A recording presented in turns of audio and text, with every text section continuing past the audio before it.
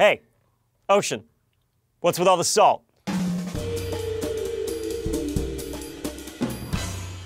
Hi everyone, Julian here for DNews at YouTube Space LA. Recently, we got a question from Nene71984 asking why the oceans were salty, and everyone in the office kind of looked at each other and went, Yeah, why? Well, I'm going to assume she's not asking why the oceans are all sassy and bitter, but instead is asking why there's salt in the oceans but not in our lakes and streams except some lakes like the Great Salt Lake. I know people in Utah and internet trolls. Jeez. First off, the salt in the oceans is 90% the same chemical makeup as your table salt, good old NaCl. Sodium chloride isn't the only kind of salt there is. There are many varieties because a salt is just a compound held together by an ionic bond. What happens is an atom steals an electron from another and becomes negatively charged, or an anion.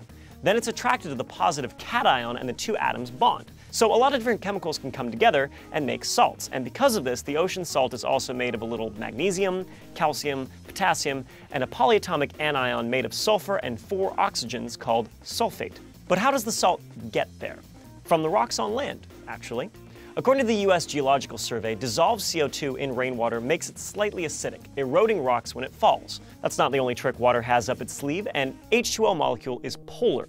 The oxygen atom hogs the electrons, so it's more negatively charged on one side and more positively charged by the hydrogen atoms. When salts are in water, they break apart because the only thing holding them in their crystalline shape was that ionic attraction. Once the rain lands, it flows downhill, carrying the dissolved minerals and ions to streams and lakes and rivers, and eventually, the ocean. The USGS also points out salt comes from inside the ocean too. Volcanoes and hydrothermal vents heat water so it can dissolve some of the basalt on the ocean floor, adding salt to the mix. But why does the ocean stay salty? Because salt has been accumulating there faster than it leaves. Some organisms use the salt or the basalt on the ocean floor takes some back, but the exchange rate isn't even. There's also the factor of evaporation.